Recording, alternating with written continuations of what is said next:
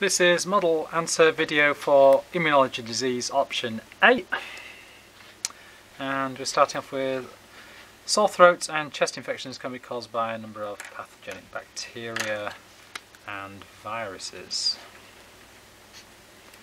To treat the disease by using antibiotics, medical practitioners need to answer the following questions. The main one is, is it a virus or is it a bacterium? And that leads us on to part A. Why is it important to know that it's a, a bacterium or a virus? Well, hopefully your grandma will be able to answer this one. If you've been watching the news. Know, antibiotics do not uh, treat viruses. Now, only bacteria are affected by antibiotics. So you shouldn't go to your doctor with a common cold and demand antibiotics. Uh, they won't work, they won't help you. So bacteria can be treated with antibiotics, viruses not affected. One method of identifying if an antibiotic is effective against bacterium is shown below. So you might not have done um, any microbiology yet, but what we've got here is a, petri dish with some nutrient agar on and we've grown a bacterial lawn which is an even spread of bacteria on the surface of the agar. So imagine like a grass lawn as an even spread of grass this is a bacterial lawn. And then what they've done is they've they've put paper discs on the bacterial lawn after it's finished growing. Sorry, before they finish growing. yes, before they've actually been incubated. And these uh, discs have been soaked in various antibiotics. So when the bacteria would grow, there's areas where you can see this kind of white, cloudy area. That's bacterial growth. And the areas around some of the discs are clear and that's where no bacteria have grown. So hopefully you'll do that in, in class. Explain what has caused the appearance of the clear zones around each paper disc. And so, uh, clear zone, no bacterial growth, so the bacteria have been killed and two marks. Uh, we just need to explain the evidence that we can see. So what caused the appearance on the clear zones for the first mark, there we are, highlight that, and how the plates would look if the bacteria were resistant for the second mark. So don't forget to do the second part of that. So antibiotics have killed the bacteria. So that's explained the clear zones. And if the bacteria were resistant, well they'd grow and the antibiotic would have no effect on them. And so what would we see? Let's answer the question. What would we see? No clear zone if resistant. Describe how this method could be adapted to, to determine what concentration of an antibiotic is needed to treat a bacterial infection. Two marks. Well, always be thinking about controlled variables when they ask you about experiments.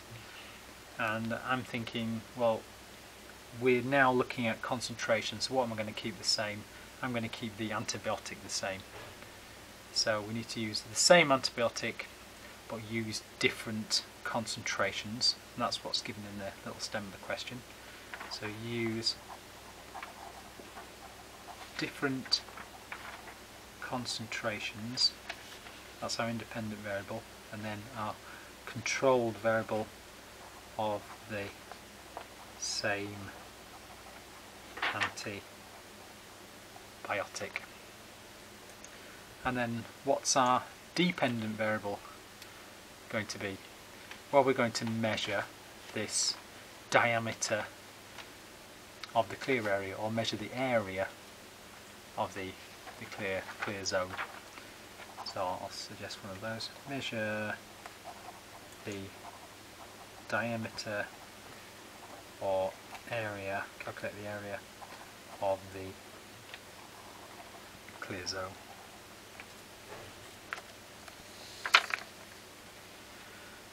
Now I've got some more more diagrams, more photographs here and they are introducing a concept of minimum inhibitory concentration but then they actually give the the definition of what that means. It's the lowest concentration uh, of the antibiotic that's effective against the bacterium. And in diagram A we've got a gradient of antibiotic concentrations in micrograms per cm cubed. So you can see down at the bottom there's a, there's a decimal point before the numbers and then 1 is in the middle and then we're going right up to 256 at the top. The, the clear zone is at the top and where I'm kind of putting in the hashed lines here, that's all bacterial growth. And so you can see the, the bacteria don't grow from about 1.5 1.5 what's the units again? Uh, micrograms per cm cubed. The antibiotic is said to be bacteriostatic when it's at its minimum inhibitory concentration Explain what is meant by the term bacteriostatic and determine the minimum inhibitory concentration. Well, we've just done that minimum inhibitory concentration and we decided that was 1.5 then get the units right. All you have to do is copy them out, micrograms per cm cubed. And the definition, well static, static means staying the same and it's different to the, the killing one, bactericidal. So this is staying the same or prevents them from dividing. So prevents bacteria from dividing. So it won't necessarily kill off all the bacteria there. Suggest why this method provides a better quality data than simple disk assay. Well, we've actually got some numbers on here, haven't we? Giving an actual concentration rather than just comparing one to another. So that's going to be our answer. So it gives this more quantitative approach of the actual concentration. So gives the actual concentration at different, here comes some more answers by telephone. So it gives the actual concentration at different points, or some words to that effect. Which of the antibiotics tested in figure B has the greatest potential for future development justify your answer. So two parts to this. We need to give an answer which antibiotic and then we've got to justify the answer. Well let's go for the one with the largest clear zone shall we? That, that goes to the you know the, the lowest concentration needed to actually have an effect. So that's going to be antibiotic 1 and you can see these clear, the clear zone extends further down the strip towards the centre than the others. So antibiotic 1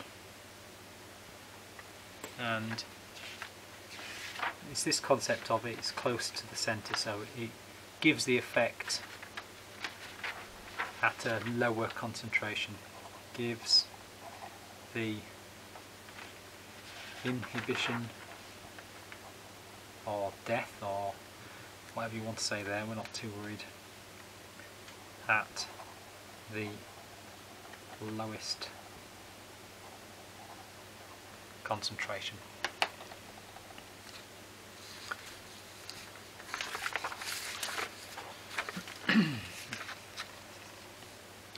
Part D. We've got tetracycline and it's telling us it's a broad spectrum. I think you might have done this at GCSE.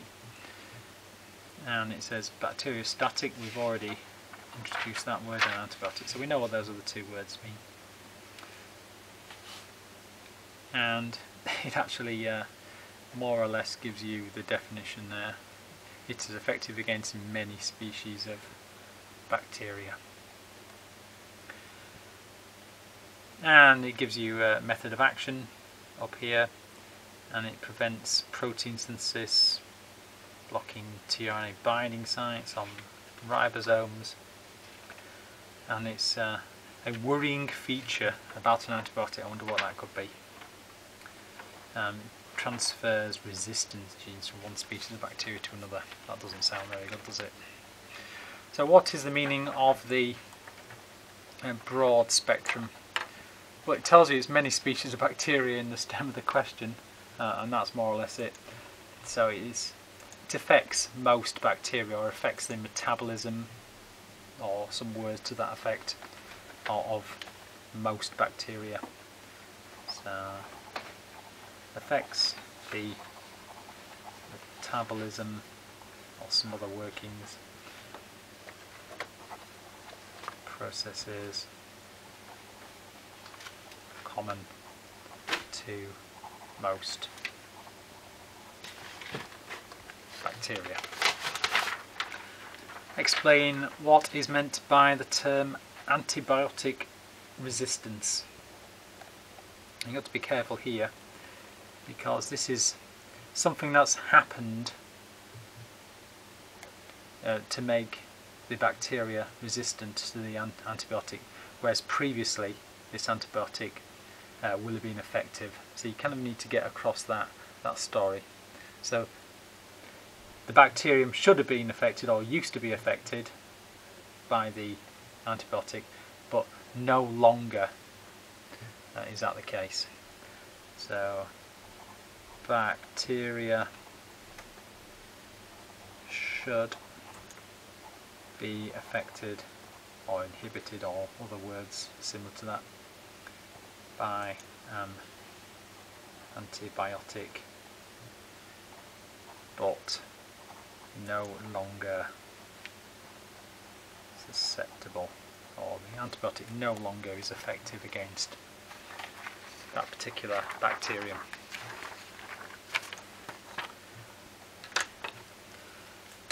And we've got the other version of this spectrum, we've got narrow spectrum for penicillin and now we've got the other word actually that we were anticipating bactericidal and this actually it says prevents the formation of bonds in the cell wall of the bacteria.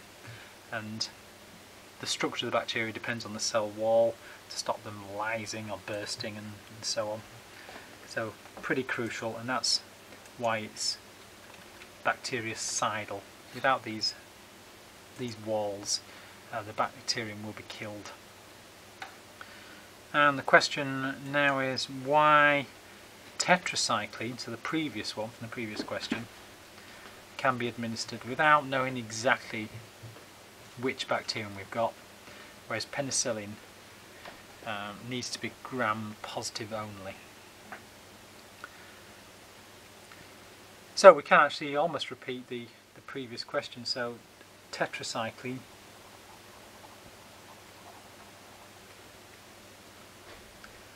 uh, affects protein synthesis. And we know that all living things need to synthesize proteins. So that protein synthesis is common to all you know, all living things. So certainly common to all bacteria. So if you can affect the protein synthesis then you know, all your bacteria are going to be affected by it which is common to all bacteria. And the second part, well, what about this uh, penicillin only being, only if we know it's a gram positive. That's why they might test you a doctor's surgery or in hospital to see what the bacterium is. So gram negative bacteria well this these bacteria have like an extra layer or this outer layer protective layer of lipopolysaccharide or lipoprotein which prevents the penicillin from actually getting to the the cell wall made of murein so we just need to put that into words. So have um, outer you know, protective layer of lipopolysaccharide or lipoprotein which prevents penicillin reaching the murein or peptidoglycan cell wall. So those are the three marks there. And the last part, got a little graph and logs, oh dear. So we use logs when, if we do this graph not on log paper then the graph would be very big indeed. Uh, you've had practice doing log graphs in your maths homeworks. The log 10 antibody concentration at uh, 22 days, so there, and 40 days there, with these numbers. So we don't need to read this graph. Calculate the increase in antibody concentration. Well, log 10, that means kind of 10 to the power of x on your calculator. So this first one is 10 to the 1.26 and the second one is 10 to the 2.85. So at 22 days, and try and write your working out so that they can try and give you a mark if you if you muck something up. They'll always try and give you a give you marks equals 10 to the 1.26 at 40 days that is 10 to the 2.85 let's uh, our calculator we can see uh, 10 to the x on this calculator is there so second function 10 to the x 1.26 is 18.19 so I'll just use two decimal places here. So it's 18.20 equals 18.20 micrograms per cm cubed. Then let's do the same thing. Second function 10 to the x 2.85 equals 707.95 micrograms per cm cubed. And so the difference, so the increase, the increase is uh, increase is 707.95 minus 18.20 so 7 point nope sorry 707.95 minus 18.20 equals 689.75. 689.75.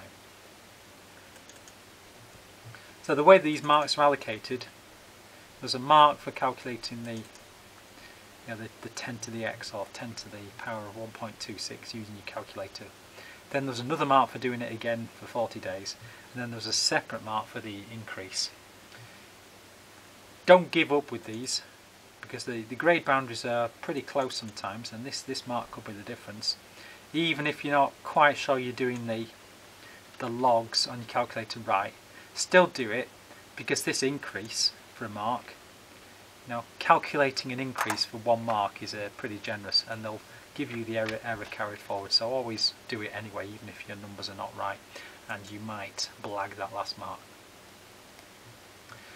And lastly, just to fill it up to 20, explain why a booster injection at 32 days, you can see it on the graph there, we've got booster, I'll put a little b there, you can see a massive increase in the antibody concentration there. Um, why a booster injection would be needed to obtain the difference, of that big, big increase. So it's just the theory behind booster. So this stimulates these uh, memory cells, so more you know, memory cells to produce these you know, vast quantities of antibodies.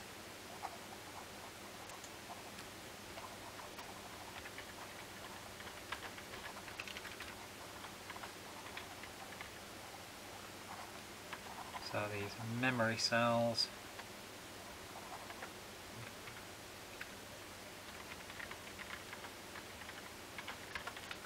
and then you know, antibodies will be produced faster then.